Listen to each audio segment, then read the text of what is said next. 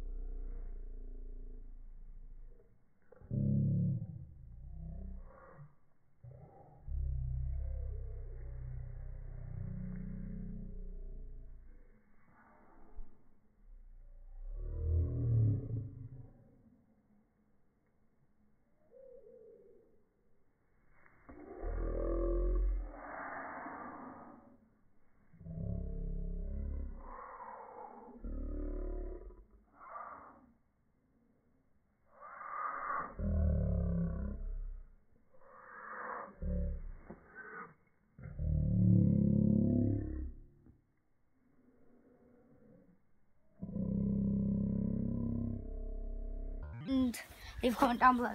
See ya.